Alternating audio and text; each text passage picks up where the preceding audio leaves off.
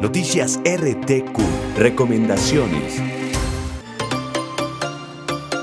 En México, uno de cada cuatro adolescentes está en riesgo de padecer depresión o ya pasó por algún trastorno psicológico debido a factores sociales como desempleo o pobreza vinculados con condiciones biológicas, señaló la especialista Silvia Morales Chainé.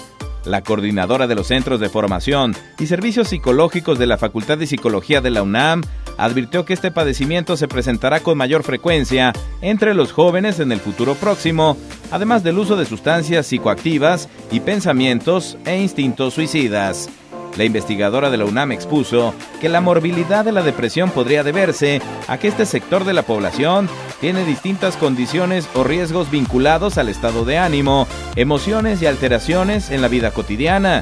Detalló que una de cada cinco personas tarda entre 4 y 20 años en tomar una terapia para atender algún padecimiento mental, lo que ha llevado a los expertos a ahondar en las causas y factores relacionados con la depresión, que ocupa el primer lugar entre los trastornos incapacitantes en población adolescente a nivel mundial.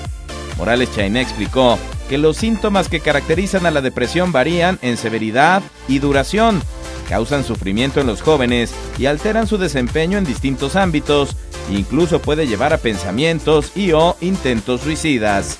Además abundó, han sido identificados factores asociados y la mayoría son psicosociales como desempleo, pobreza y eventos estresantes, aunado a que se vincula a condiciones biológicas, genético y ambiental y grupos sociales. La especialista refirió que en niños y adolescentes se observan problemas de actitud, enojo y ansiedad como indicadores de depresión, lo que no significa que sean perezosos, sino que requieren atención profesional para recuperarse.